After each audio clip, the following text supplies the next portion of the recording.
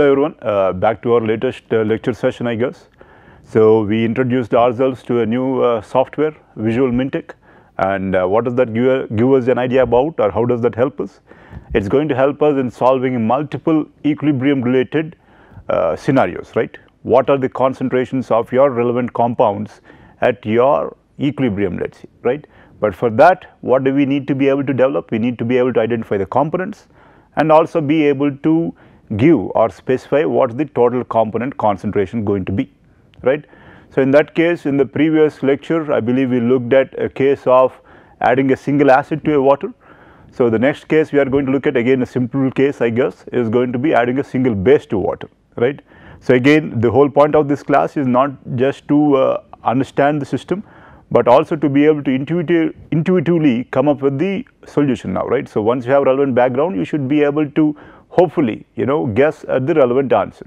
So, that is something again we are going to try to do in this particular uh, class or session again right. So, let us see what we have here.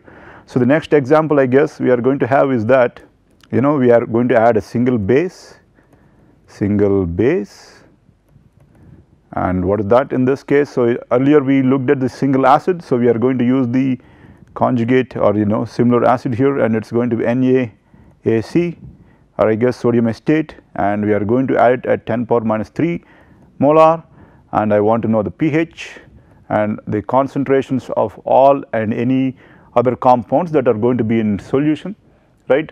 So, earlier we had an acid and we looked at calculating the pH I think we did a relatively decent job with respect to estimating the pH. Same case here first try to uh, let us try to estimate the uh, pH of this solution now right.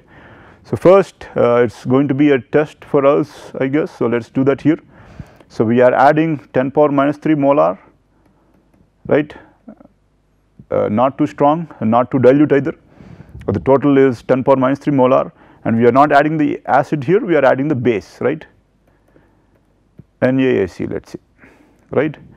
So, keep in mind now that the pKa value is around 4.7.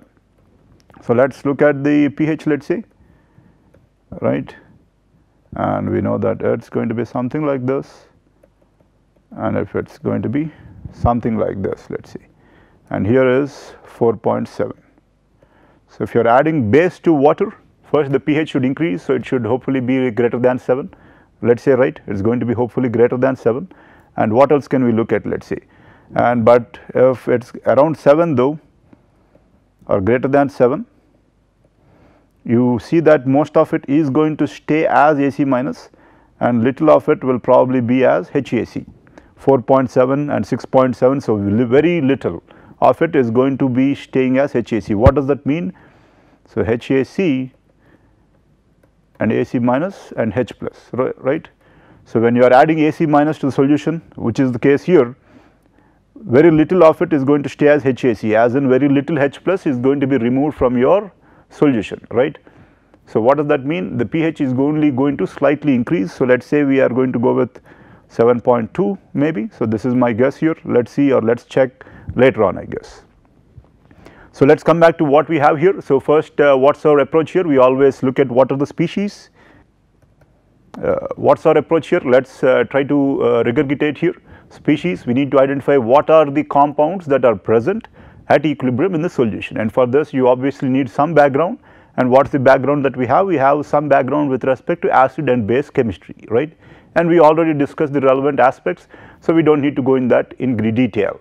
So, we identify the species then choose the components accordingly then write the formation equations pardon me and then come up with the tableau and then the component balance equations and then we come up with the equilibrium equations and then finally solve them. So, obviously the VMINTEQ can bypass most of these, but you should at least be able to write the tableau or come up with the component balance equations right. So, let us see what we have here.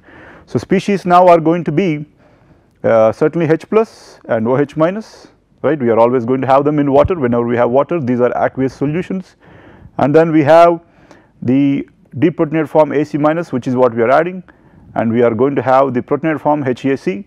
So, you are not sure so that is why I am going to have HAC here I am not sure if I am going to have HAC or at significant levels, but I am going to go with having it. And obviously because I am adding sodium, I am also going to have Na plus. So, what is the equation here I guess that we need to look at NaAC will dissociate into Na plus plus AC minus and AC minus plus H plus can go to HAC right. So, that is what uh, we are more or less looking at right. So, these are our species here. So, what are our components? So, similar to the last case we are going to choose how do we choose the components? We always try to choose such that you know you are going to arrive at the solution earlier. And in this case we say always choose H plus. You can choose OH minus but you will arrive at the solution uh, later I guess especially if working out by hand. And especially if you look at VMINTEQ I guess you would obviously try to choose H plus. Why? I believe H plus is listed as one of your components right. So, it again even if you are trying to work out by hand it is always better to choose those components that are given as preset components in your VMINTEQ. So, that is always you know a guaranteed way to arrive at your solution faster. So, let us see here the components obviously are going to be H plus and then the thumb rule is most deprotonate form AC minus and we are not done with that because we still need to form Na plus we are going to go with Na plus right. So, now the formation equations the formation equations what are they I guess I am going to list all my species here H plus, OH minus, AC minus, HAC and Na plus. And let me look at that. So, how many H plus do I need here? 1 H plus to form or is equal to H plus. H2O minus H plus is equal to OH minus. 1 AC minus will form 1 AC minus. And H plus plus AC minus will form HAC and 1 Na plus will form my Na plus. So, now I can come up with my tableau. And what is my tableau here please? And here I am going to have the components H plus, AC minus and Na plus. And the relevant species here H plus, OH minus, AC minus, HAC and Na plus. And then here the recipe species what did we add initially? We have the source compound for everything as NaAC that is going to be NaC naught. So, even for that I am going to write that down NaAC naught. How do I form that? Na plus plus AC minus will be equal to NaAC naught.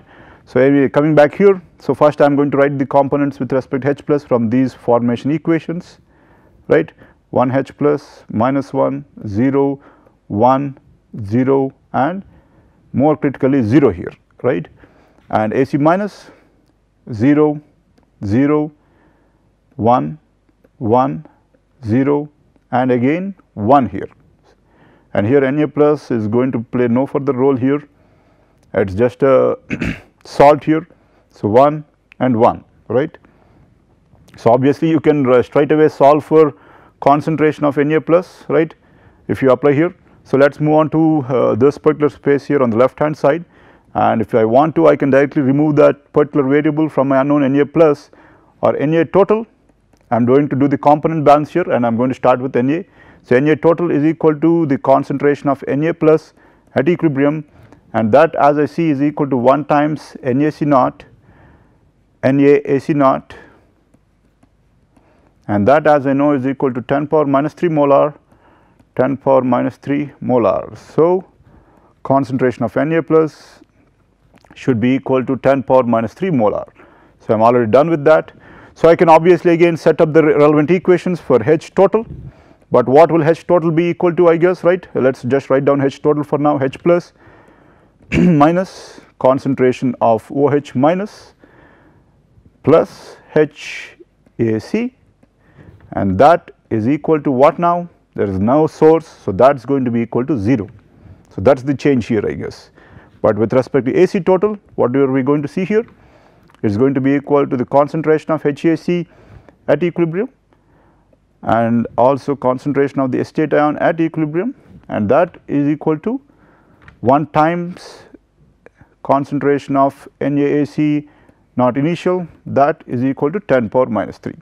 So, we can obviously solve for this. So, we, instead of solving for this let us go ahead and plug this in and let me look at uh, my estimate of around 7.2 right. So, let us go ahead and uh, plug this in.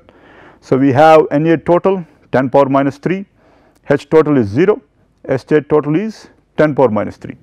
So, I am going to switch here and edit list okay I thought I plugged that in I guess it's not 0.3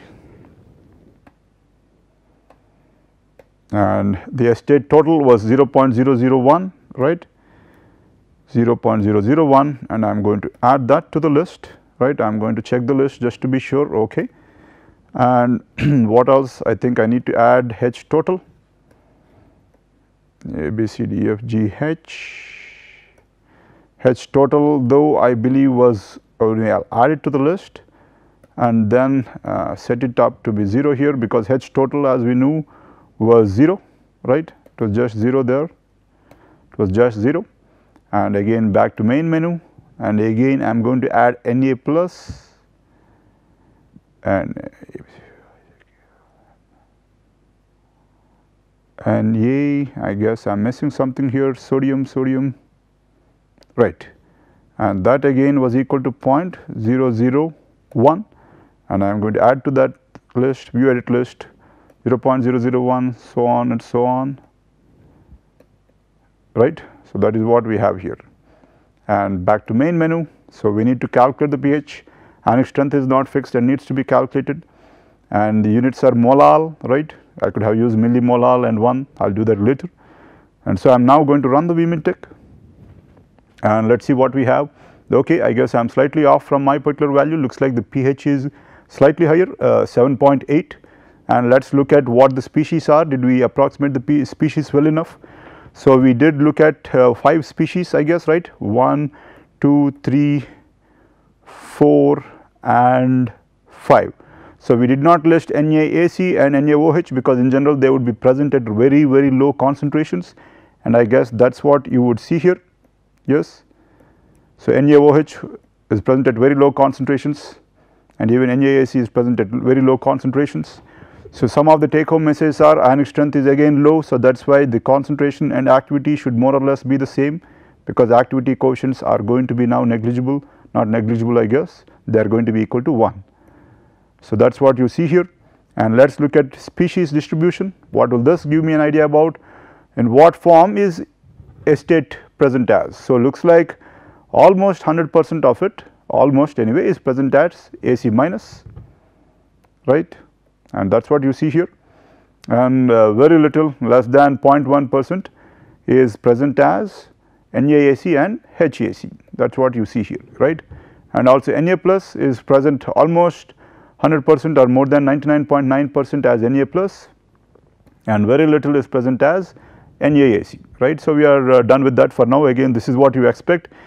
Uh, why is estate uh, AC minus so high in concentration? Because pH is far greater than pKa right.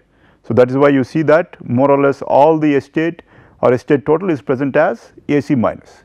So, again keep in mind that we have the pH versus ionization fraction graph right and we know that when the pH is exceeding pKa what do you expect now? You expect that at equilibrium at that particular pH when pH is greater than pKa again you are going to expect that the proton not proton pardon me the relevant acid is going to stay in its deprotonated form and for the acetic acid what is the deprotonated form?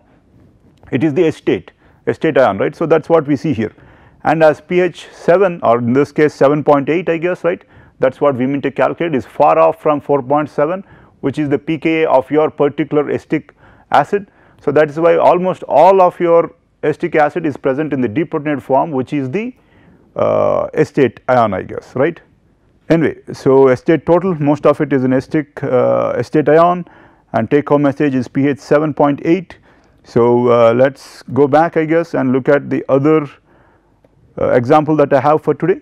So, I am going to switch here. So, I am done with this particular case. So, we will look at the other example and I believe the other example is such that we are going to add both an acid and a base. So, earlier we add only one acid or one base. So, this time though I am going to see to it that we are going to add an acid and a base. So, we know that the source compounds or recipe species are 10 power minus 3 HAC and 2 into 10 power minus 3 NaAC. So, you are adding an acid and you are adding a base at twice its concentration and from our background we know that the pKa value is 4.7. So, the first aspect we need to do that is we need to or we are trying to uh, intuitively guess the answer right. So, let us try to do that I guess. So, here we have uh, we are going to try to guess that and we have relatively equal amounts no we have higher concentration of the base twice right. So, we have the HAC and AC minus but AC minus is in higher concentration. So, the first case that I can guess is that you are adding the same type of acid and its uh, conjugate base. So, the pH is going to be nearer pKa right if you add same concentrations of acid and base to water. But here the pKa is 4.7 but you are adding more base. So, what would that be then or what would the pH then be? It will be slightly higher than your pKa value. Again if you add the same quantities of your acid and conjugate base you are going to have your particular pH nearer to the pKa. But now you are adding twice as much of your base as your acid. So, what I am presuming is that the particular concentration not concentration pardon me pH of your particular system is going to be higher uh, but not by great value uh, when compared to your pKa. So, let us see why that is I guess right. So, here not why just a basic explanation. So, pKa is 4.7. So, if we added them at equal quantities we will have them at 4.7 pH, but if I am adding twice that and the concentrations are not too high but not too low either. So, I am going to go with around 5 maybe pH 5. So, let us say our guess is going to be equal to 5. Why is that? Because I have higher concentration of base compared to the acid. So, again briefly let us set up our particular uh, system right we are going to list the species, the components and directly we are trying to go into write the tableau today or this time anyway and then we are going to set it up in VMINTEQ and let us check our answer I guess right. So, let us list our uh, species.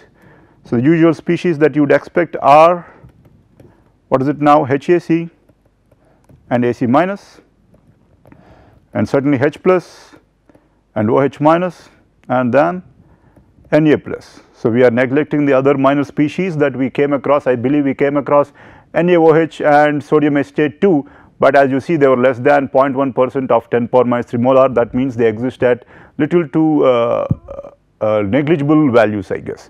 So, anyway HAC AC minus at least with our acid base chemistry background we should be able to have HAC and AC minus and H plus and OH minus and obviously the salt Na plus. So, let us uh, try to write down our uh, components. What is going to change? Not much because they are still the same. We are going to have H plus, AC minus and Na plus right. So, those are our uh, three components. So, let us directly jump on to the uh, tableau. And here I am going to have the species HAC, AC minus.